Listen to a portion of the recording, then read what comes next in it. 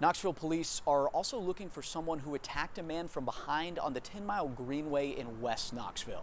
KPD says a jogger found a 79 year old man lying on the Greenway near North Peters Road around 745 this morning. UT Medical Center treated that man who was bleeding from multiple cuts. His injuries are non-life threatening and police officers are working with the victim to get more information to try to find a suspect.